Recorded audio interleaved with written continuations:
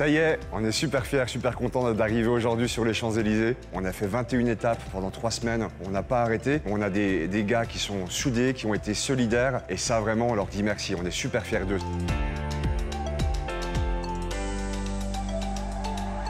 Cette année, on a 52 camions et 68 conducteurs. La mission d'XPO, c'est de transporter tout le matériel nécessaire à l'organisation du Tour de France.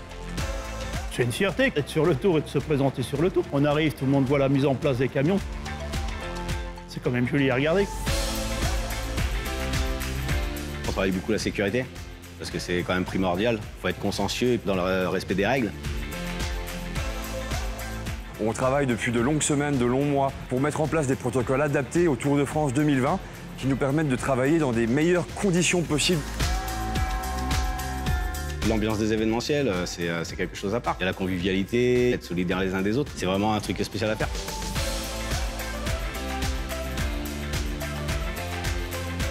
J'ai bien aimé, ça a été une bonne expérience. Je l'avais dit au départ, hein, on partait tous ensemble, on rentrera tous ensemble et heureux.